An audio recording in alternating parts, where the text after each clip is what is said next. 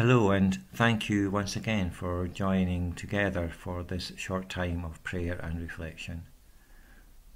We join virtually in our homes, at work, in our car, walking the dog, or wherever.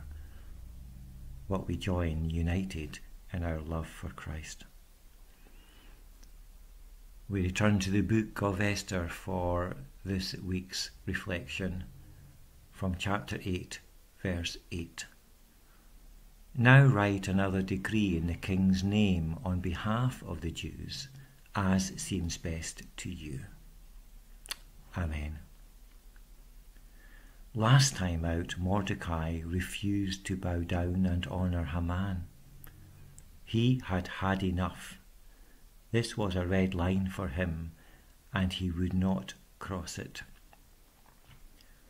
he entreated his cousin Esther, her Jewish name Hadassah, to go unbidden to King Xerxes and try to change the king's mind.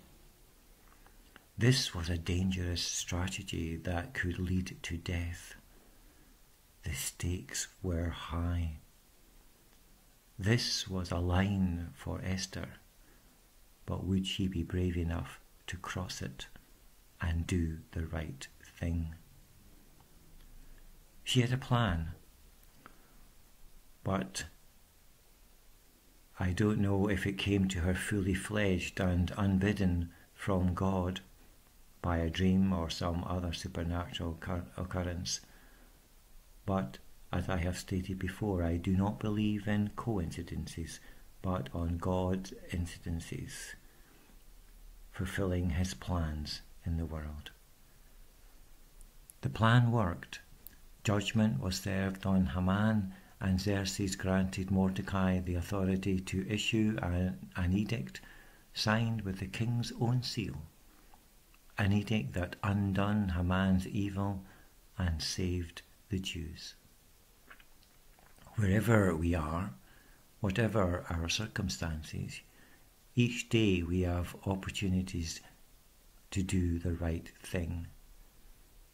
Sometimes that might involve personal sacrifice, discomfort, or danger. Standing up for the weak and the oppressed, or for justice, is never easy.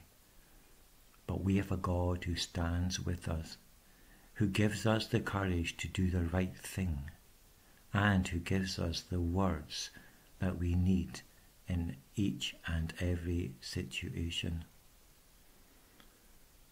When your enough is enough moment comes along, I pray that Christ will strengthen and comfort you in the midst of it. Our God is bigger than any of the issues that may beset us. After all, He is the Creator of all things. Let's pray. Almighty God and Heavenly Father, you hold eternity in your hands. You know the consequences of all our actions, and you work and will us to do the right thing at all times. When our path through life is rough and tough because of our own faults or the faults of others, you are still beside us, guiding our thoughts, our words, and our actions. Help us to listen to your still small voice in the clamour of life and trust you as you lead us ever onwards. When we come to our enough is enough moments, calm our fears, still our minds, strengthen our resolve, and guide our actions so that we too may do the right thing. And now the prayer that Jesus taught us. Our Father in heaven, hallowed be your name. Your kingdom come, your will be done on earth as in heaven. Give us today our daily bread. Forgive us our sins as we forgive those who sin against us Lead us not into temptation, but deliver us from evil. For the kingdom, the power, and the glory are yours, now and for ever. Amen.